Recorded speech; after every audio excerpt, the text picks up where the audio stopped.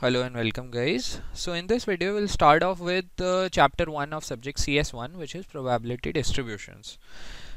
Here we'll discuss standard probability distributions to model real world situations. Now such real world situations can be toss of a coin roll of a die or arrival of cars at a signal. These are different examples of uh, real world situations which can be used to be modeled with standard probability distributions. So we'll look at such different situations and we'll look at different discrete and continuous random variables which can be used to model these situations. So let's start off with that. Okay, now let's just start off by talking about discrete probability distributions. So in case of discrete probability distributions, we'll talk about random variables which can take a fixed set of values. Okay, let's start off with the first one which is the Bernoulli distribution. Okay? So under Bernoulli distribution the essential characteristics are that there is only one trial. Okay? One trial is happening. For example toss of a coin. Okay? And there are only two outcomes. One is success and the other one is failure. So you can consider the success to be heads. Maybe the success for you is heads and the failure for you is tails. Okay? So one trial with two outcomes. Uh, heads or tails success or failure. Or you can have another trial as a student writing an exam okay? So your success can be pass and your failure can be fail. So there will always be just one trial and two outcomes success and failure.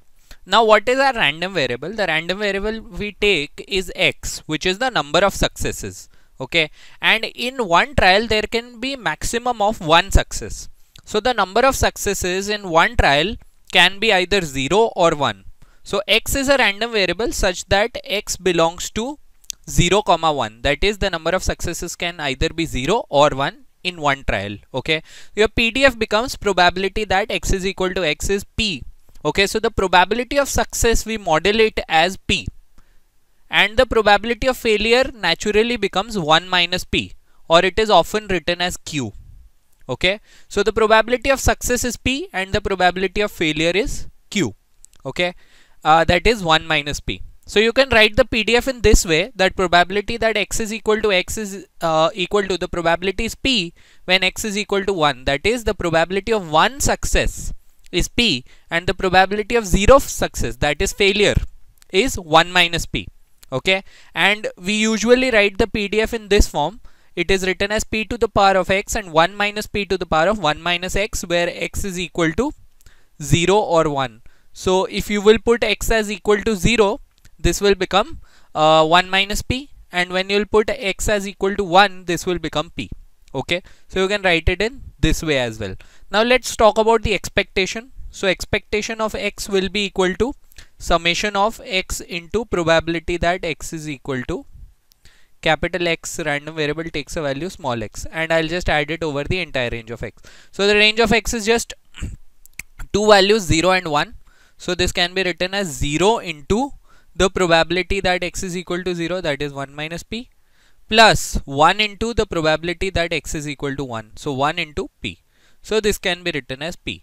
So your expectation of x becomes p and your variance of x will become expectation of x square minus expectation of x whole squared. Okay?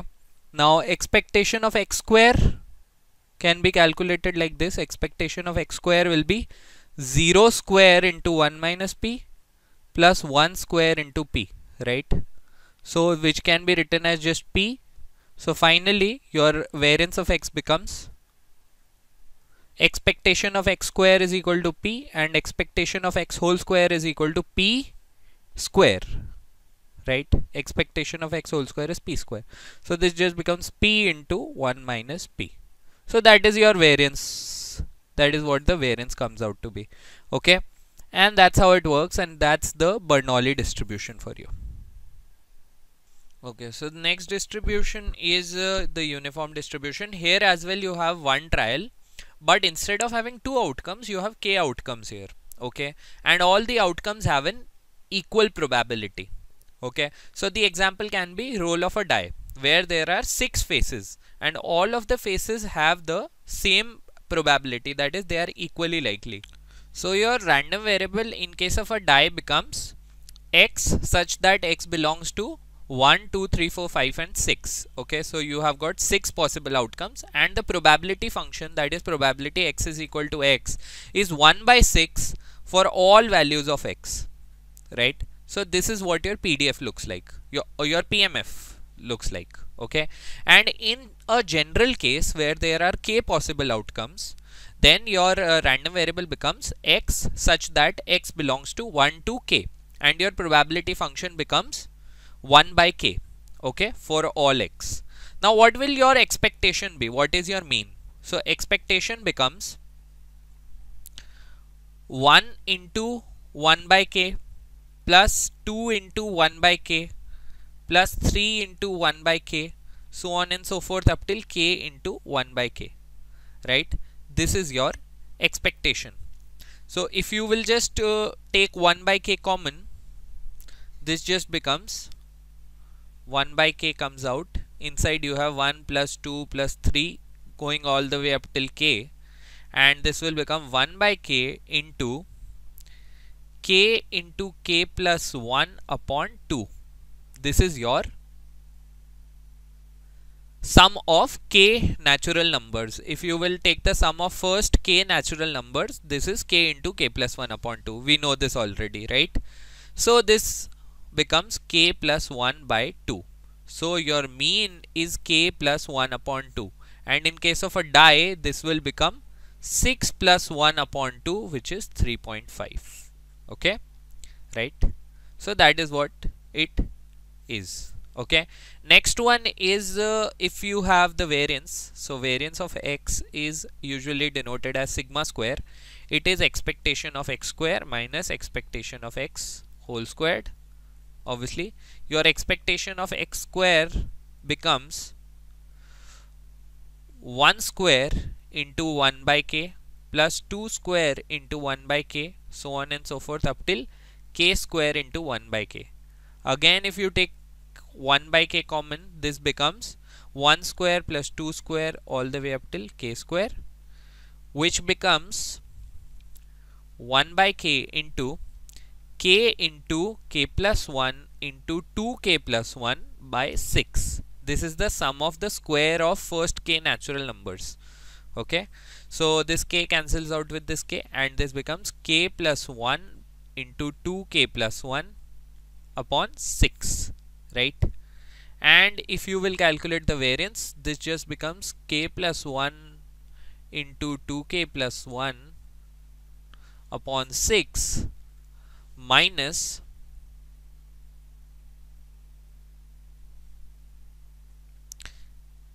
k plus 1 by 4 squared right?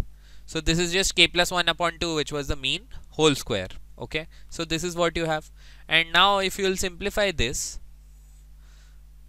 if you take k plus 1 upon 2 common inside you have 2k plus 1 by 3 minus k plus 1 by 2 okay now let's just take an LCM it is k plus 1 upon 2 and uh, this one becomes 4k plus 2 minus 3k minus 3 upon 6 okay this is what you have and this just becomes k plus 1 into this one becomes k minus 1 upon 6 2s are 12. So this just becomes k square minus 1 upon 12 and that is your result for the variance.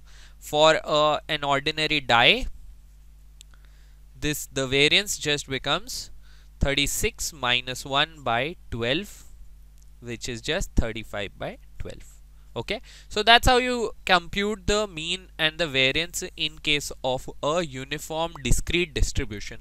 This is the discrete version of the uniform distribution. There is also a continuous version. When we'll look at the tables and when we'll look at the continuous uh, probability distributions we'll move on to that. But for now this is your uniform distribution. Okay. So next is the binomial distribution now in both of the previous distribution we had a single trial. But here we have got n trials which are all Bernoulli trials. now by Bernoulli trials what do I mean? That there are only two outcomes. There is a success or a failure as we had in the Bernoulli distribution. The probability of success is P and the probability of failure is 1 minus P or it can be written as Q. Okay and the unique thing about all of these trials is that they are independent and identical okay? What do I mean by that?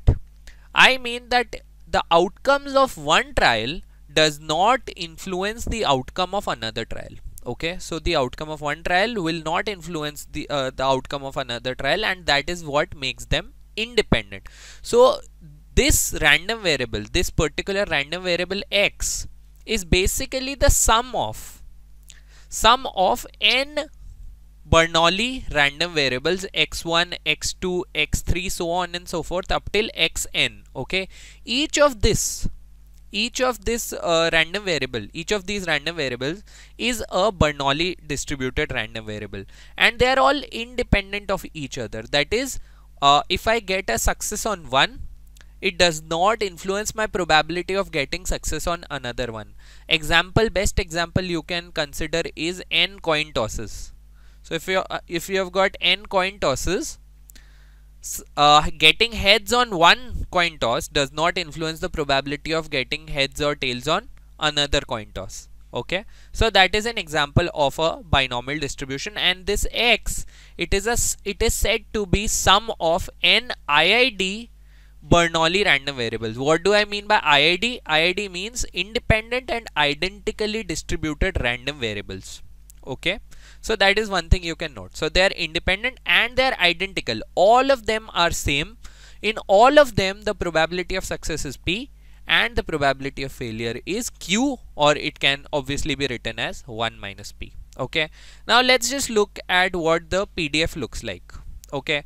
Now let's talk about first thing let's talk about x. Okay. What is x? X is basically the number of successes. So what is the number of successes in case of n trials?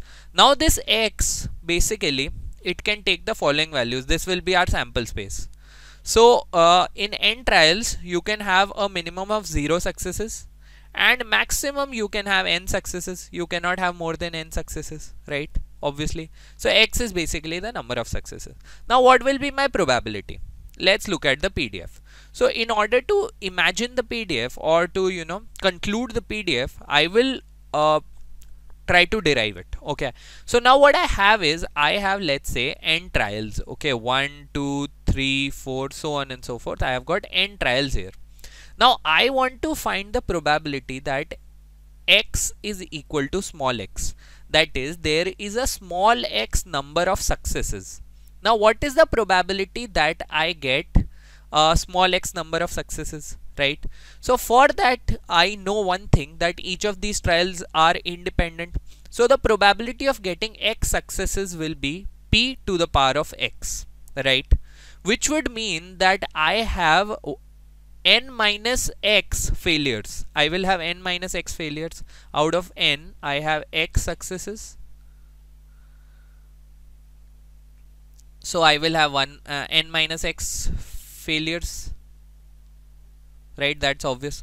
So p to the power of x will be the probability of having x uh, successes because p will be multiplied x times and I will have n minus x failures so the probability will be 1 minus p to the power of n minus x because uh, 1 minus p will be multiplied n minus x times. Now this is your probability. But the point is that these x successes can have different arrangements okay? Uh, for example if you toss a coin five times and you want three heads okay? Let's say heads is a success if you want three heads on five tosses you can have different combinations. You can have heads heads heads tails tails. Uh, you can have something like uh, heads tails heads tails heads. So on and so forth you can have different combinations. So there are multiple possibilities okay? This is one possibility this is another possibility. You can have another possibility like uh, maybe let's say tails tails tails heads heads and so on and so forth. You can have multiple possibilities. So I will have to add the probability of all of these possibilities in order to get the total probability. That is, I want three uh, heads out of 5 uh, on 5 tosses. So this will satisfy my probability, this will satisfy my probability, this will also satisfy. So all of these I'll have to add their probability, right? So what is the total number of outcomes which satisfy this probability? Okay, that is what uh, I want to, or satisfy this condition, that is what I want to find out. So out of these n trials, I want x successes, okay? So what is the number of uh, ways in which I can have x successes on n trials? That is given as ncx. So out of total n trials, I'm selecting x successes then the probability of having a success is p to the power of x and the probability of having a failure is 1 minus p to the power of n minus x. So this finally your uh, PDF is ncx p to the power of x and 1 minus p to the power of n minus x. This is the number of arrangement. Uh, this is the number of selections you have got. Selecting x successes out of uh, total n trials. p to the power of uh, x is the probability of having uh, x successes and 1 minus p to the power of n minus x is the probability of having n minus x failures. Okay. Okay, so let's just look at this very simple question. It says calculate the probability that at least 9 out of 10 people who have been infected by a chronic disease will survive if the survival probability is 70%. Let's consider any given individual as one trial. Okay, so here you have got 10 trials right that is why you can model this as, this as a binomial distribution so you have got 10 trials and you want the probability of at least 9 successes out of total of 10 trials. That is what you want okay? And the probability of survival that is success is given as 70% so I just want the probability that x is equal to 9 or x is equal to 10 so or is added in uh, in probability theory you add whenever you want a probability of or. So this is just the probability that x is at least 9 out of 10 people survive. So x is greater than equal to 9. This is what I wanted. So this is the probability that x is uh, equal to 9 or x is equal to 10 because x cannot take a value greater than 10 right now how will I find this this will be uh, this can be found out easily as 10c9 p to the power of 9 and q to the power of 1 plus 10c10 p to the power of 10 and q to the power of 0 okay? So I've just applied the formula that I just discussed directly. For probability x is equal to x is equal to ncx p to the power of x q to the power of n minus x where q is 1 minus p. Okay? So this is what you have. Now you can just individually calculate these two and add them up this combination can be directly calculated on your calculators okay? So this one comes out to be 0.1493 so that's your answer okay? So fairly straightforward question. Okay so next thing is the expectation and the variance in case of a binomial distribution so there are two ways you can reduce the expectation and the variance and I'm going to discuss both. Only one of them is given in your book. Okay. First thing we know that the Bernoulli distribution for the Bernoulli distribution N-O-U double L-I for the Bernoulli distribution the expectation is given as P and the variance is given as p into q or p into 1 minus p. Okay? So binomial distribution as i told you is nothing but the sum of n i independent and identically distributed Bernoulli random variables right? So what I'm gonna do is just going to add n of these okay? So the expectation becomes n times the expectation of the uh, Bernoulli distribution. So it's np and the variance becomes n times the variance of the Bernoulli distribution. So n into p into 1 minus p. It is also written as npq. Okay. So that is your uh, expectation and variance in case of binomial distribution. But if you want to derive it directly from first principle, how do you do that? Let's see. So expectation of x is generally adding over the entire range of x x into probability that x is equal to small x right? So what i'm doing is taking value multiplying with probability right? Now in case of the binomial distribution what is this? This is summing over the entire range of x x into this is ncx p to the power of x q to the power of n minus x. Okay this is what you have or you can also write it in 1 minus p form but I'm just using this okay? Now let's just write it uh, in this form by expanding ncx so ncx is nothing but n factorial upon n minus x factorial into x factorial into p to the power of x q to the power of n minus x okay? Now just to simplify this this just becomes summing over the entire range of x. This becomes n factorial upon denominator you have got x minus 1 factorial right? And this one will become n minus x factorial. Uh, p to the power of x q to the power of n minus x. Now this is what you have got and x the range of x is x goes from the minimum number of uh, successes 0 and the maximum number of successes is n okay? So x goes from 0 to n. Now I need to see that uh, how do I modify this in order to uh, get the expectation. So for modifying this I have to make a substitution and the substitution I will make is that y is equal to x minus 1 okay. Uh, the basic idea behind doing this kind of a substitution is that uh, you have to make this entire thing into the PDF of into the sum of the PDF of the binomial distribution over its entire range. So if I add the uh, binomial distribution over its entire range, the sum just becomes 1. So I have to take out a several elements out of this and I have to uh, make this equal to 1 so that you know I get the expectation. Let's see how do we do that. So the first thing is to uh, just uh, substitute y is equal to x minus 1 okay? When you do this substitution it just becomes y goes from so here since x was going from 0 to n okay? Uh, now there is one x adjustment before I uh, adjust this. If you will see at x is equal to 0 okay? At x is equal to 0 this entire term becomes 0 okay? This entire term that I've got becomes 0 because it becomes 0 into this entire thing n factorial upon n minus x factorial but this x will become 0 right? So at x is equal to 0 this entire thing is equal to 0 right? So I can simply start the range from 1 x is equal to 1 right? So my range will start from x is equal to 1 instead of x is equal to 0 right? Because at x is equal to 0 uh, this entire term is 0 only. So I don't need to add it. Okay. So now uh, putting the substitution.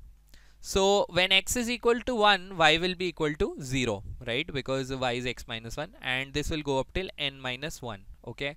Instead of n factorial you will have n factorial only uh, here x minus 1 factorial will become y factorial. Okay. Now uh, this one is still n minus x factorial okay or you can write it as n minus y plus 1 factorial. Okay this is what you can write it as. This is still p to the power of uh, y plus 1 and uh, this one is q to the power of n minus uh, y minus 1 okay and this one uh, is also n minus y minus 1 okay? So this is how you can write it. Okay? Now what I'll do is I'll take n into p common because I know that is going to be the expectation so I'll uh, just take it common outside. So it just becomes summing over y goes from 0 to n minus 1 this one becomes n minus 1 factorial because I've taken n outside. Upon this is just y factorial. Now this term I can write it as n minus 1 minus y factorial okay? n minus 1 minus y factorial. This can be written as p to the power of y and q to the power of n minus 1 minus y. So now uh, to get this final result let's just do one more adjustment which I forgot to do earlier. Let's say m is equal to n minus 1 okay? So you can finally write it as np summing over y goes from 0 to m instead of n minus 1 I'm using m. M factorial upon y factorial into m minus y factorial p to the power of y q to the power of m minus y which you can write as this is np this is just summing over y goes from 0 to m. Mcy p to the power of y q to the power of m minus y. And if you see this clearly this is just the pdf of a uh, of a binomial distribution added over its entire range. This is the pdf of y which follows binomial distribution with the parameters as m and p okay? So these are the parameters that I'm using instead of n and p this is m and p this time. And this pdf is added over the entire range so this sum has to be equal to 1 so, if this entire thing becomes 1 your final expectation of x becomes np okay? So that's how you derive your mean okay by just making this uh, pdf as one and the remaining part is your mean okay and one important thing to note here is that you know whenever a particular random variable is said to follow the binomial distribution suppose x here followed binomial n comma p distribution so you could write it uh, write it as x follows binomial with parameters n and p. These are basically the parameters of the distribution okay uh, parameters are basically the values on which uh, the distribution depends. Here there are two parameters which are n that is the number of trials and p the probability of success. These are the two things on which the uh, distribution depends. Earlier we have had other distribution. We had the uniform distribution where we had only one parameter which was uh, the number of trials which uh, number uh, the number of outcomes which was k okay and you can have different uh, you know distributions in this form. Some distributions have one uh, parameter only such as the uniform distribution or the or or the Bernoulli distribution. But binomial distribution has two parameters which is n and p. Okay? So these are a few important things to note. Now let's move on to the variance. Okay so now we'll do the derivation of the variance. Now this is a bit complicated and uh, it is not really required for the exam. So if you are not interested you can skip it. But I will still do it and I like recommend that you do it because ultimately the purpose of studying all of this is not just to pass your exams but also to develop your attitude. So let's look this through that how do we do the variance. So for the variance we know that the variance is equal to expectation of uh, x square minus expectation of x whole squared right? So for finding the variance what I'll do is instead of uh, finding this I'll first find expectation of x into x minus 1 okay? This is the term that I'll try to find which is simply expectation of x square minus x which is simply expectation of x square minus expectation of x. This is the term that I'll try to find out and using this then I'll get to the variance by doing some adjustment okay? So let's see. So how do I find out the expectation of x into x minus 1 so for finding this this just becomes summing over the entire range of x. X goes from 0 to uh, 0 to n okay? X into x minus 1 because I'm trying to find the expectation of x into x minus 1 into the probability that x is equal to x okay so uh, since this time I am not finding expectation of x I am finding the expectation of x into x minus 1 instead of x I use x into x minus 1 now you can just write it as x goes from 0 to n x into x minus 1 into ncx which will I'll just write it directly n factorial upon n minus x factorial into x factorial p to the power of x q to the power of n minus x.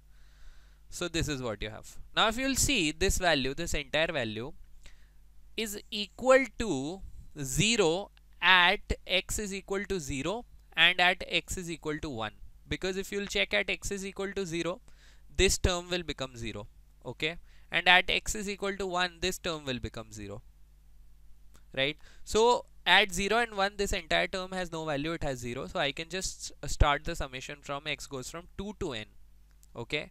And I've got x into x minus 1 n factorial upon n minus x factorial x factorial p to the power of x q to the power of n minus x. Okay? This is what you have got. Now further simplifying it if you have got x into x minus 1 here it can simplify with x factorial and that is why in the first place I took x into x minus 1 right now you must uh, you know notice that. So n factorial upon this becomes n minus x factorial this becomes uh, x minus 2 factorial p to the power of x q to the power of n minus x. Now I'll apply a similar adjustment that I did in case of the expectation. Since I've got an x minus 2 here I'll try to make this x minus 2 as well and uh, everything else uh, will balance. Okay so what I'll do is I'll just uh, take and and I'll try to make this n minus 2 factorial this one. Okay so what I'll do is I'll take n into n minus 1 common and p square common. This is what I'll take common. They can just come out. And it will go from x goes from 2 to n. This is n minus 2 factorial. Okay this one you can write as n minus 2 minus x minus 2 factorial. Okay? This one is uh, already x minus 2 factorial. Since I've taken uh, p square common this becomes p to the power of x minus 2 and this one becomes q to the power of n minus 2 minus x minus 2 so I, I converted everything in terms of uh, something minus 2 okay? n minus 2 or x minus 2 now I'll just make the substitutions like I did the last time this time I'll make two substitutions together. So I will substitute n minus 2 as equal to m and uh, x minus 2 as equal to y. Okay? So once I make this substitution this just becomes n into n minus 1 into p square and I've got summing from. Now x minus 2 is equal to y. So when x is equal to 2 y is equal to 0 and when uh, x is equal to n y is equal to n minus 2 okay? Because uh, y is x minus 2 when x is equal to n uh, y is equal to uh, n minus 2 which is same as m okay? So limits change that way. And this one just becomes m factorial upon uh, m minus y factorial because that is the substitution that I have made. This is y factorial this is p to the power of y this is q to the power of m minus y right? So this is what you have got. And now this just becomes n into n minus 1 into p square. Uh, this one inside just becomes y goes from 0 to m. M c y p to the power of y q to the power of m minus y. And if you can clearly see this is just summing the pdf of the binomial distribution where y follows binomial m comma y I'm just adding it over the entire range so this just becomes 1 right? So if this is equal to 1 then what I'm left with is n into n minus 1 into p square. And this is what? This is expectation of x into x minus 1 this is the expectation of x into x minus 1 now from here I'll see how can I go to the variance so if this is the expectation of x into x minus 1 this is expectation of x square minus expectation of x. This is equal to n into n minus 1 into p square okay? Now what I need to find out is the variance of x. So variance of x is equal to expectation of x square minus expectation of x whole squared okay? Which can be written as the expectation of x square minus the expectation of x which I already had okay this is a term which I have adding expectation of x to it and subtracting expectation of x whole squared from it. So this term will just go here okay. So I just had this term and uh, what I did with the variance was that I just uh, added and subtracted this term expectation of x okay and rest of the things are same. So now this term you already have expectation of x square minus expectation of x you have already calculated this term came out to be uh, n into n minus 1 into p square. Okay so this is n into n minus 1 into p square. This expectation of x is equal to np and expectation of x whole square is equal to n square p square. So this is what you have got. Now let's just uh, simplify it on in order to find the variance. So for this what you can do is you can take np common. If you take np common inside you have got n minus 1 into p okay uh, plus 1 minus np okay and np is still outside and here you have got np minus p plus 1 minus np okay again np cancels out with np so finally your variance comes out as expected np into 1 minus p which is nothing but npq so that is your variance that is what we wanted as a result and that is what came out as a result. So again see it's much expected and that's how you do it okay? So you should know how to uh, you know solve for uh, expectations and variances using the first principle. It is fairly straightforward okay. Now we'll move on to the next thing in the next video